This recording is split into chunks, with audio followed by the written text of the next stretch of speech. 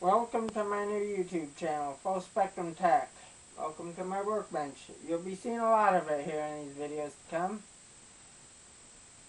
And the reason I call it Full Spectrum Technology is because I'll be covering the full spectrum of technology. Everything from oil lamps, candles, to integrated circuits, resistors, capacitors, transistors, vacuum tube radios, vacuum tube electronics, transmitters, receivers, the repair of such, and the design considerations of such.